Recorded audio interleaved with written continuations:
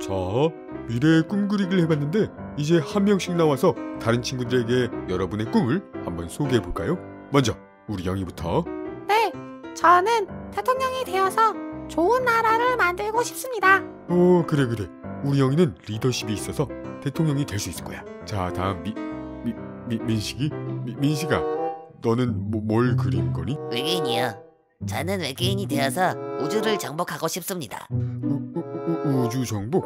와, 우리 민식이는 꿈이 정말 크구나. 자, 그럼 다음 철수.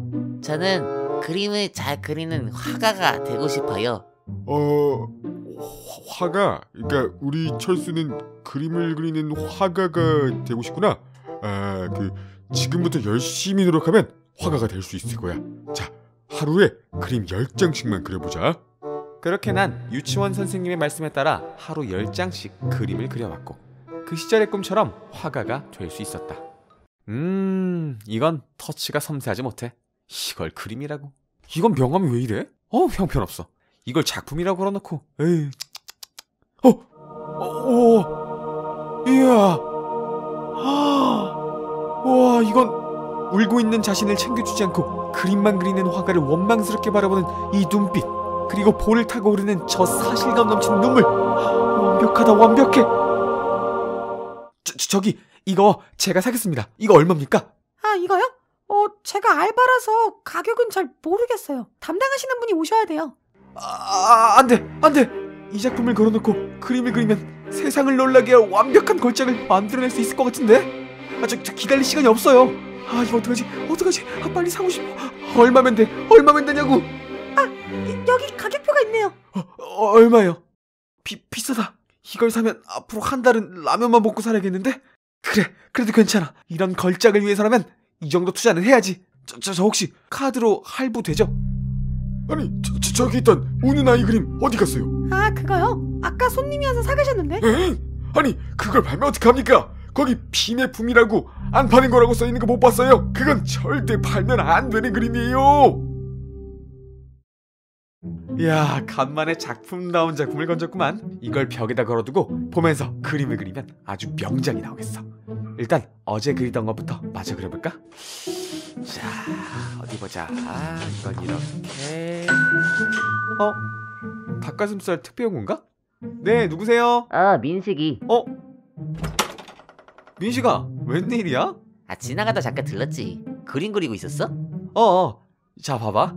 이번 그림의 제목은 급동이야.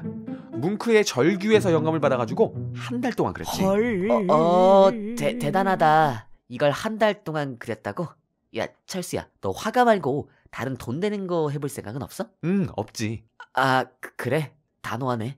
밥 먹으면서 설득 좀 해봐야겠다. 집에만 있지 말고 우리 나가자. 내가 밥 사줄게. 오, 좋지. 이 앞에 맛있는 닭갈비집 있거든? 거기로 가자. 아, 배부르다. 아, 민식아, 덕분에 잘 먹었어. 아, 나도. 어? 근데 왜 이렇게 소방차들이 많지?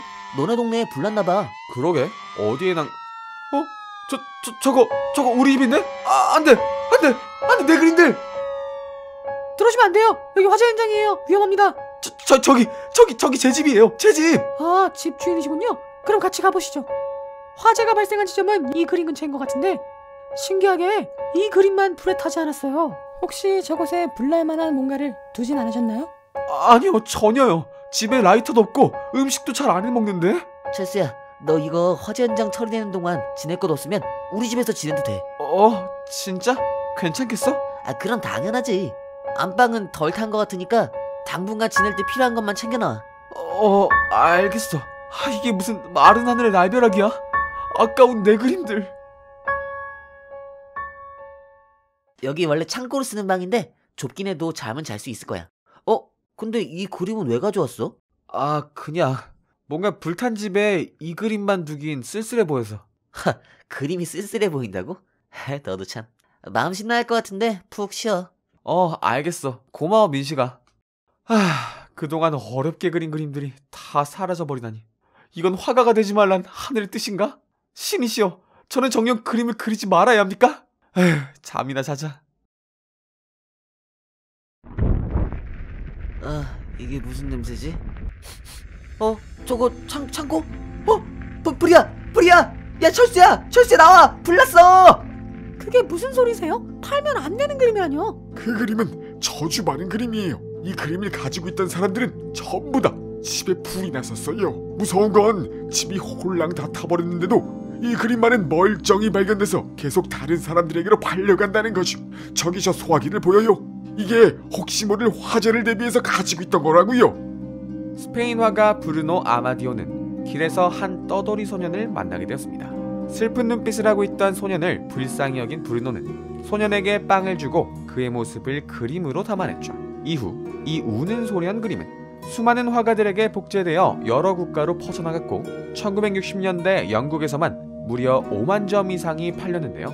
언제부턴가 그림과 관련된 이상한 사건이 생겨나기 시작했습니다.